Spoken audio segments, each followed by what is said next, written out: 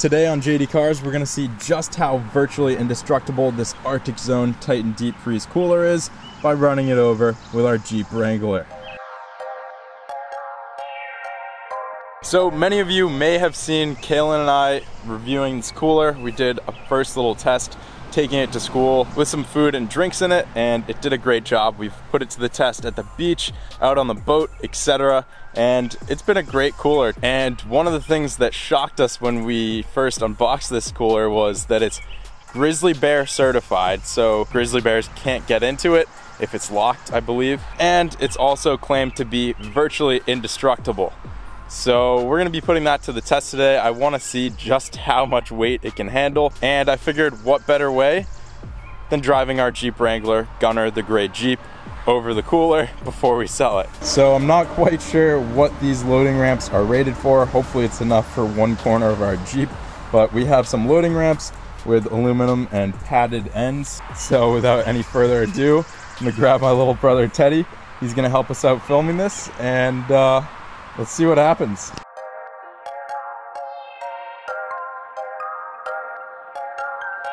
All right, so we have our cooler and our ramp set up. I have the sway bar quick disconnects disconnected on the Jeep, which should allow it to flex a little bit more. And I just did a quick Google search. The stock Jeep Wrangler Unlimited is about 4,000 to 4,500 pounds. With all of our aftermarket upgrades, we're probably looking somewhere around 5,000 pounds. So a quarter of that is about 1,250 pounds. See if the Arctic Zone cooler is up to the task.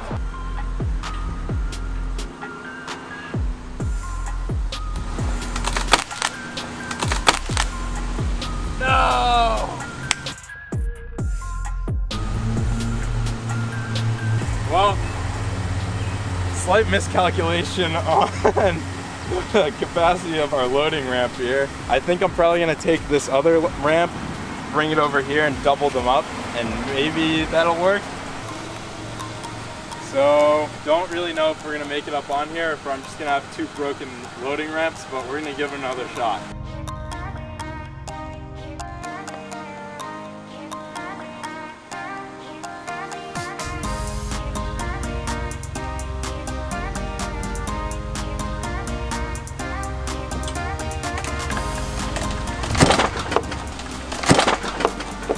Damn it!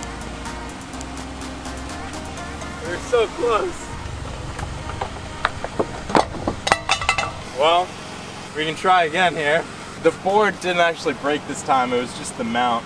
Looks like I owe my dad some new loading ramps after this.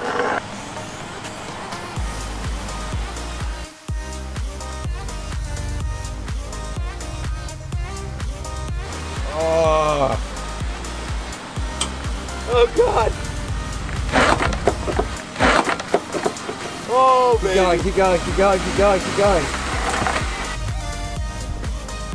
Oh my gosh! I didn't think it would fucking work.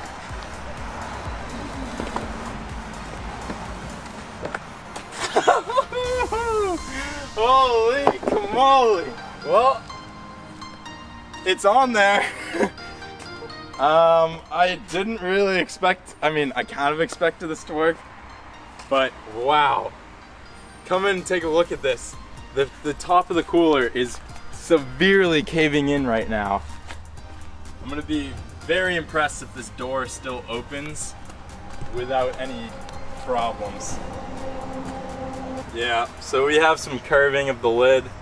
The lid is definitely dipped in where the tire is probably an inch or two, but the cooler is holding it.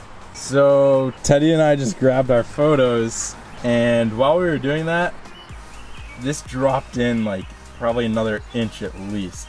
It's like severely caved in. So if this hinge right here is still okay and the door opens and it still seals up, I will be amazed. I, I don't have very high hopes for the cooler at this point, but we're gonna try pulling it off and see if it still works. This is sketchy.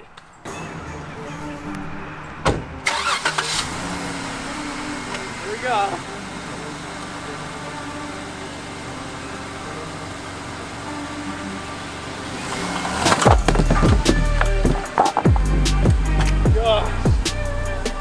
Oh man, a little rough. See if it's still open. All right, so the top is definitely bent in a little but it still feels like it seals up all right. And furthermore, I thought this hinge was gonna be done for. It's completely fine. Um, I'm not really sure if this dent is gonna come back out. I don't really know. Probably gonna leave it in the sun and hope that the sun kind of brings it back. But in terms of it being a functional cooler, it's still open and close the lid just fine. It's still closes up just fine. And it looks like we have a good solid seal all around. So might have a little dent in the top from now on, something to remember the Jeep by, but I'm honestly really impressed. Rest in peace, Jeep 2021. I'll have to update you guys. I'll let you know how this thing still works as a cooler, if the dent comes out of it, and uh, what else we can put this thing through. If you enjoyed this video, please go leave a like down below. Thank you so much for watching, and we'll see you next time on JD Cars.